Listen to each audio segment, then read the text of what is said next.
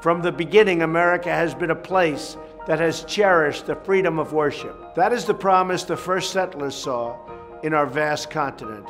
And it is the promise that our bravest warriors have protected for all of our citizens in centuries since.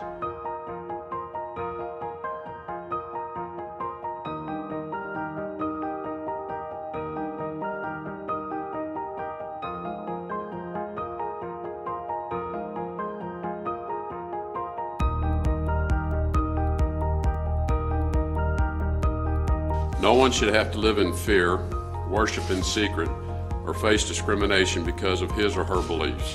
Where religious freedom is not protected, we know that instability, human rights abuses, and violent extremism have a greater opportunity to take root.